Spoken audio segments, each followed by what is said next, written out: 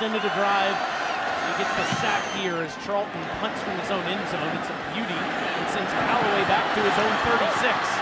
He's got two career punt returns for touchdowns. Make it three.